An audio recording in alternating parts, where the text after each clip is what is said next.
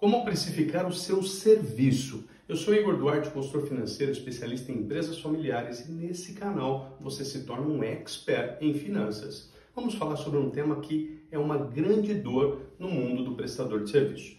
Como que eu começo a formação de preço do meu serviço? Primeiro, quanto que eu sonho em ganhar? Lógico que esse sonho versus realidade tem uma coisa muito diferente aí nesse meio do caminho. Mas vamos trabalhar com esse sonho nesse momento?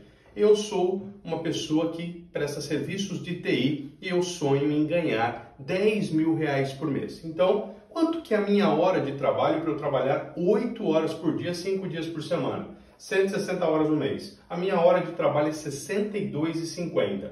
Então, aquele é o ponto de partida de custo da minha hora de trabalho. Vamos pensar que eu quero 30% de lucro e eu tenho 15% de despesas entre fixas e variáveis, já considerando o imposto de uma nota fiscal